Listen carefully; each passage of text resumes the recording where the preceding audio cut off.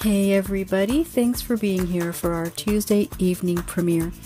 In the previous weeks, Nate of Nate Bright Art has actually been our fabulous, tried, trusty, and true caboose.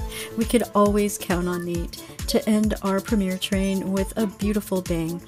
Well, now for a little while, Nate is going to be actually starting out our premiere trains. That's right, he's going to be the engine, setting forth our beautiful adventures each week for a little while. So we can now count on Nate to be our tried, trusty, and true excellent beginning. And after Nate this evening is going to be Lori of Lori Houston Art, followed by Camile of Camile Amoy Art. And then ending with me, yours truly. That's right, tonight I get to be the caboose. How fun is that? Alright, thanks for being here, and let's take a look at what I'm presenting to you tonight in this video. Thank you for joining me here. Just look at this beautiful Camile Amoy inspired dahlia. I am so happy with the results and I'm sure you're going to love seeing the creation of this beautiful flower in this video presentation. Remember that this video presentation is part of our Tuesday night premiere train and if you're with us at the time of premieres, we're so happy to have you here. So let's get this train ride rolling down the tracks.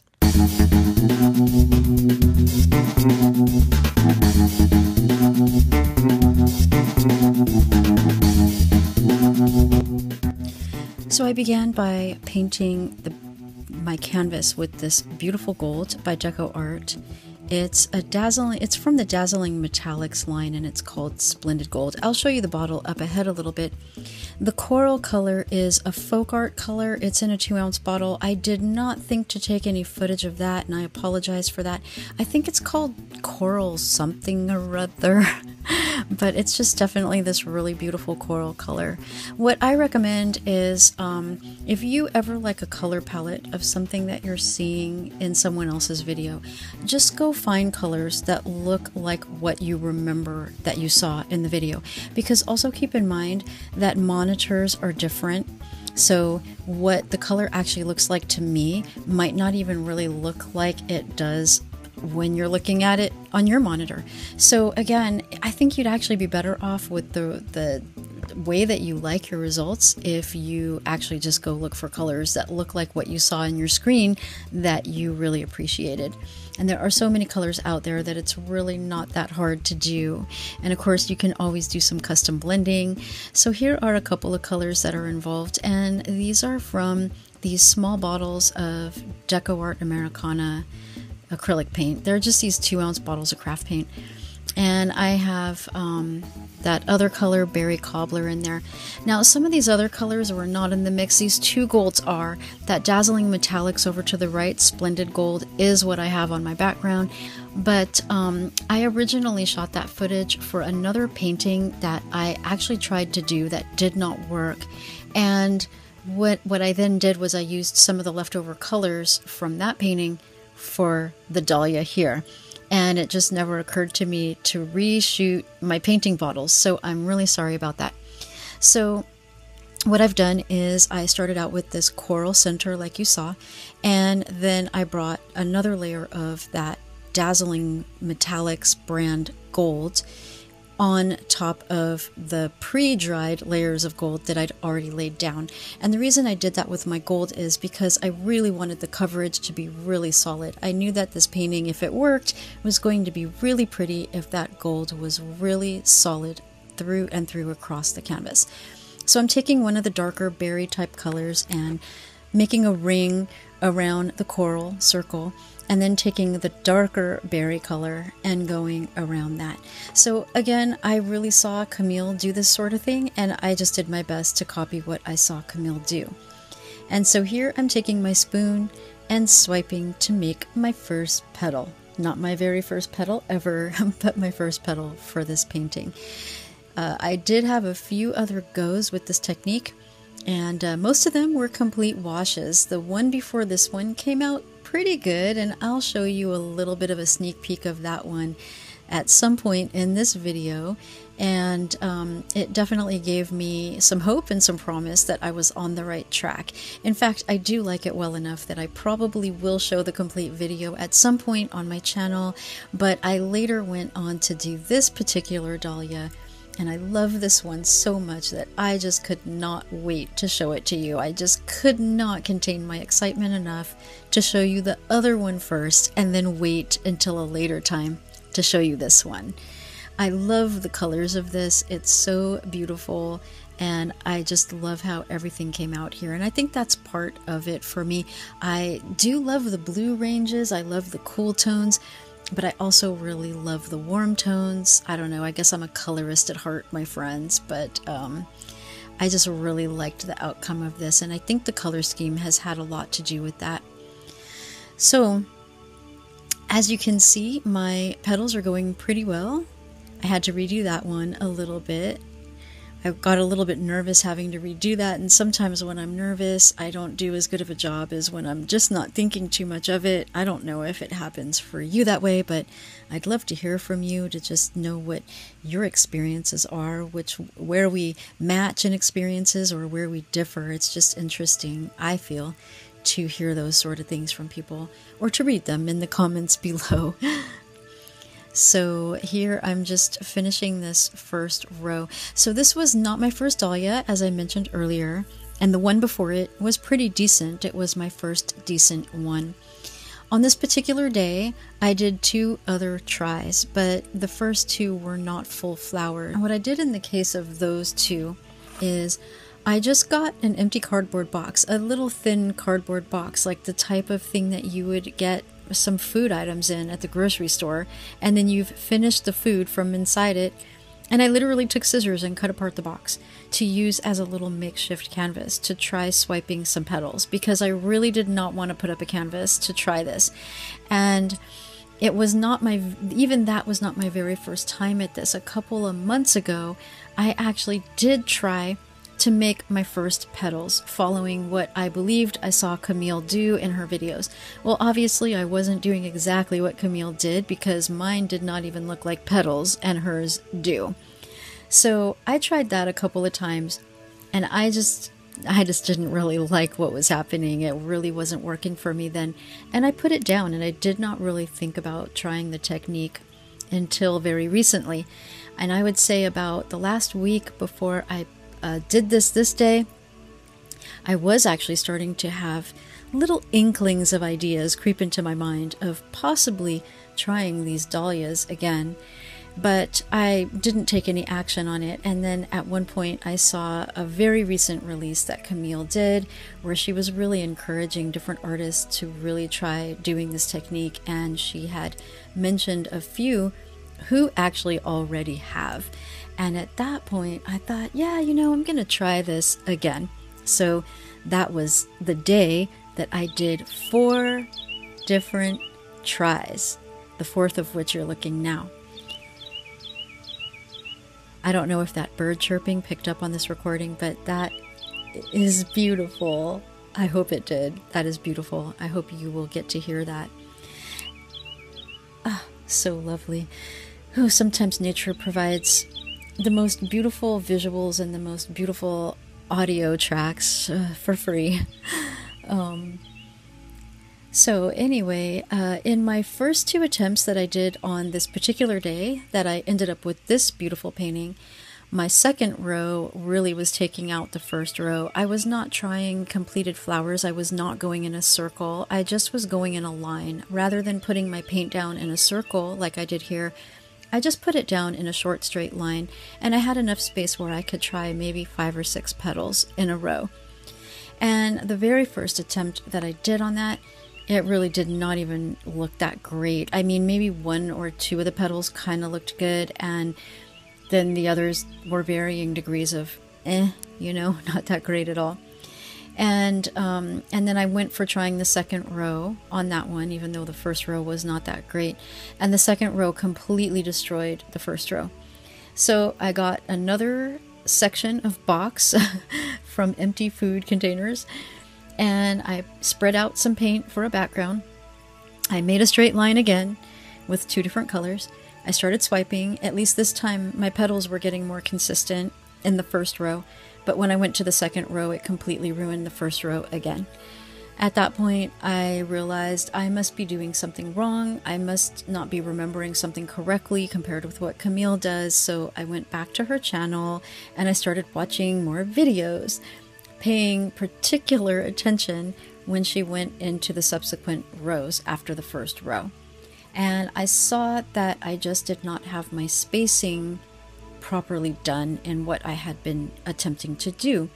So then I came back. I went for my third attempt, which was the little small painting before this one, and I achieved a much better result. It still was not as great as Camile's, and still wasn't as wonderful as how I feel this one came out, but it was pretty nice compared to before, and I was very encouraged with how big of a leap my progress had made uh, between those two points. And I was a little tired at that point. I really did not think I would paint anymore that day. I, I, put all the paints away. I went and did some other things. And a few hours later, though, I just had a fire in my heart. I was like, it was just bugging on me, but in a good way, in an inspiring way. I was like, I just have to go and try another one. I would have honestly chosen a smaller canvas than what this is. I would have liked to have gone for uh, like an 8 by 10, but I did not have any around. And um, this one is 11 by 14. It's a little bigger than what I would have liked to have done, but I did not want to go out to the store to buy some more. I just wanted to be able to paint. So I just decided to go for the 11 by 14, and I have to tell you, my friends, I'm so glad that I did because I really like how this painting came out. I think it kind of surprised me. I, I had an idea that it might be a little bit better than the uh, try that I gave before this one, that third try that day uh, a 5 by 7 canvas. I had one tiny canvas left here, 5 by 7 but that was it. I had nothing between that and 11 by 14, which is what you're looking at right now. And um, so while I expected I might get an improvement, I really did not expect that it would come out as pretty as how I feel this one did come out.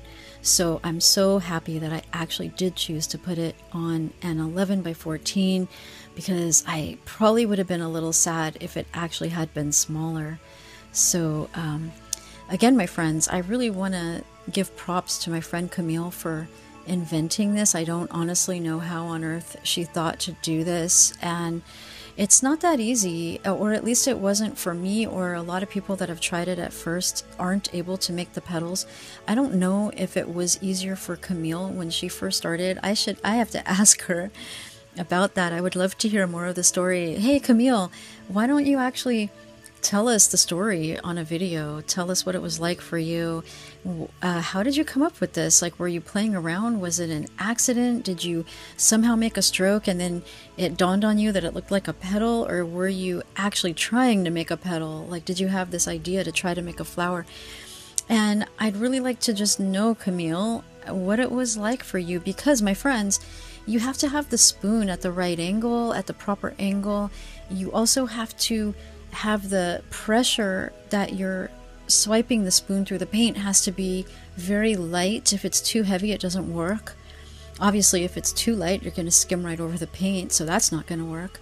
So it's it's interesting when you see somebody that's gotten a beautiful result, so you know that something is possible because you're looking at this result, this creation that they've come up with. And so you know that if you're not getting it, that you're just not doing something that they are. Or you're doing something incorrect that they're not doing, something like that. But you realize that so you can keep trying to improve if you want to put out the effort. But let's think about this from the case of someone like Camile. She never saw this flower before because she's the one that created it. So what was that like when you took your first swipes? Did they work? And if they didn't, what made you think they would? What made you think you had to do something different? And what would your idea of that have been? Do you, do you see what I mean, my friends? Like how tricky that could have been in her, in someone like her shoes, where they haven't created this outcome yet, but they're going for it, and they're the inventor. So there is no basis of somebody else that came before them that they can look at to then aspire for. So I find this very fascinating and very admirable, you know, really to anybody who has developed a technique. I mean, for Rinske Douna, for that matter, she describes how she uh, saw the technique with people blowing the paint with a straw. And she kind of liked what she was seeing, but she kept envisioning the blowing going wider, but she couldn't figure out how can I achieve that because the straw does this, but how can I get it to go wider? So she then decided to play around with the blow dryer, but it still took her like a long time to perfect that technique before she started showing it off and, and then all of us can then learn it so much quicker. But you know, it, it took her a while to actually be able to bring what she was envisioning to reality, to find the happy medium of how to make that happen. So I just kind of get the idea that that may have been like that for Camile within the case of these beautiful, beautiful dahlias. So thank you so much, Camile, because I, I want to tell you, Camile, um, and also you viewers watching, when I have seen Camile do this in her paintings, of course, I've thought it's very pretty. It's very beautiful. She makes these beautiful flowers. And you may have thought that too, especially if you like to watch her channel. I'm sure you like her flowers. But I had no idea what this actually looks like in real life.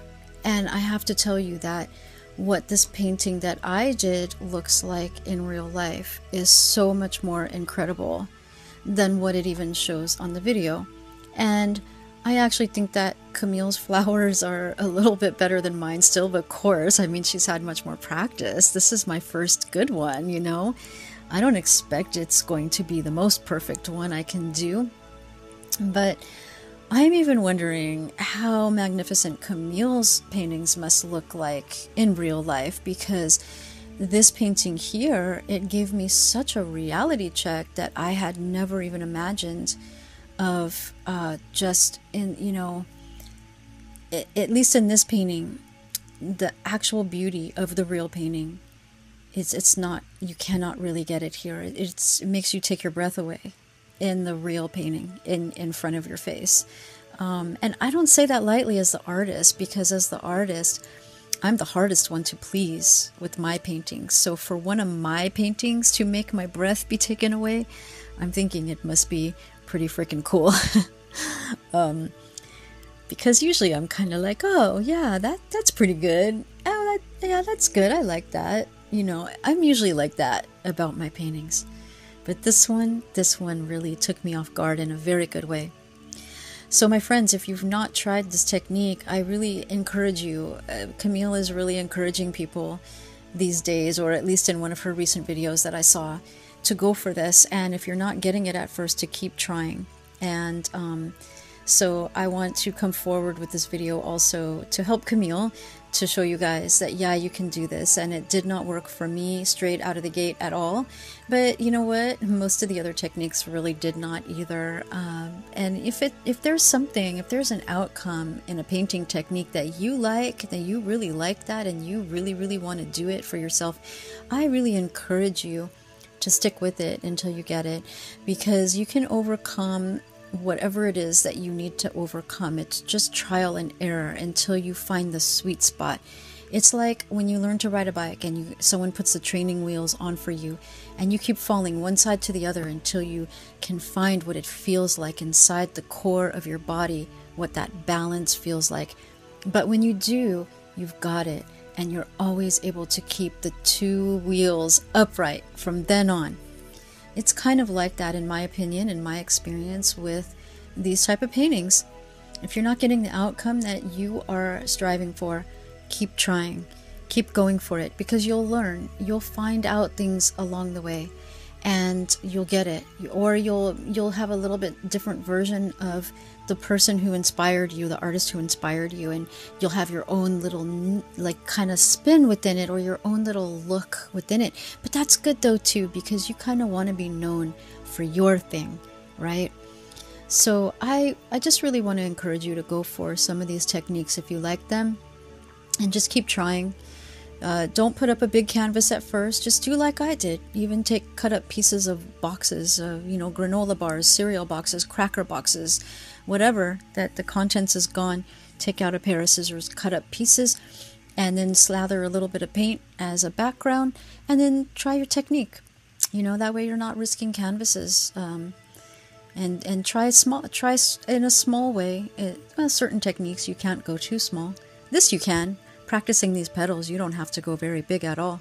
You you can have a very small amount of room to practice a few petals, and then to go for a second row, just to kind of get that part down. Uh, and then and then when you get that part down, then go to a canvas if you want to. On my five by seven, I just did a half dahlia because the five by seven canvas is pretty small. I thought it might be kind of tricky to try to do a full dahlia. I, I have seen Camile do small dahlias, so of course I knew it's possible, but I did not want the added difficulty of trying to make very small petals by trying to put a full dahlia on a 5x7, so I put a half dahlia on the 5x7 for that reason. Um, so yeah, I'm just going to. Uh, I'm gonna keep doing these. I did not realize how much I would love this. Even when I saw Camile's beautiful flowers on her videos, I did not realize how much I would actually love this until I did this one. And I am so in love with this now, you guys. Like, I am probably going to be making quite a lot of dahlias. I, of course, I have some other things I keep talking about bringing to my channel, including the technique I recently invented. And last week I talked about announcing the name of it. And I was actually going to make this week's video about that. And I was going to show another painting I did with that technique. And um, I just, I couldn't help it though when I saw this dahlia. I had to bring this forth. So now I kind of want to spend some time on both of these as well as some of the other techniques I like. I don't know. Oh, so many beautiful techniques and only so many days in a week. All right. So I have some really cool things for the center of this flower that's coming up and I did not really study too much what Camile does. I think she also dots on paint, but I, rather than go back and really pay too much attention to what she does, I kind of wanted to try my own way here. And so um, you're going to see in a few moments what I did.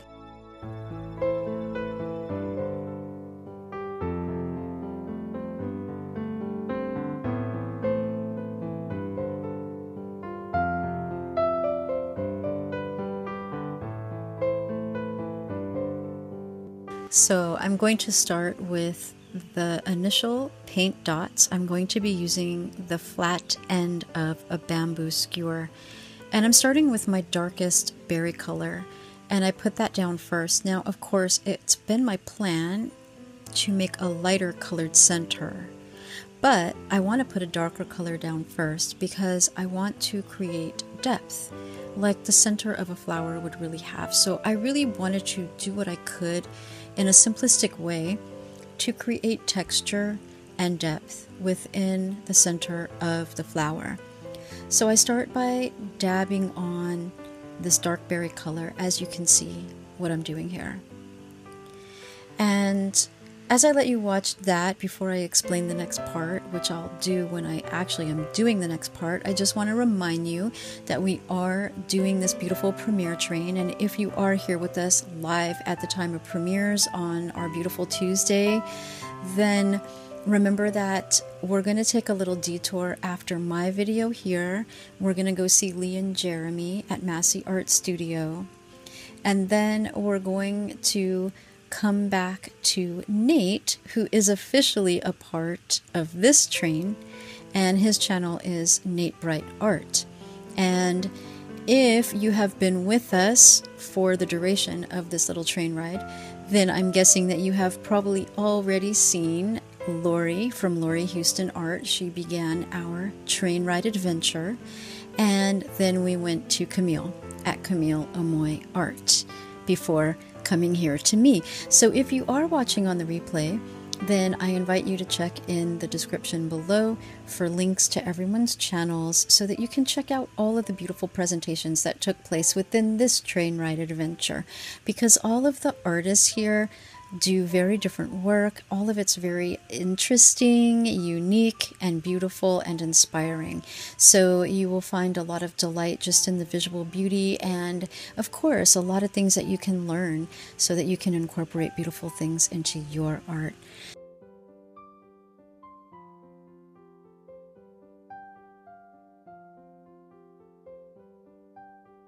Look at this final, final result, my friends. I love this. I'm so excited by how this came out. And again, I want to thank Camile for developing this gorgeous technique and for bringing it to the fluid art community for all of us who wish to to enjoy. And again, Camile, please tell us more about how this all started for you. I'm just so curious. Uh, it's it's totally amazing. And again, I'll see you around my channel soon. Make sure you check out all the other artists in the premiere train, and I'll look forward to seeing you again next time.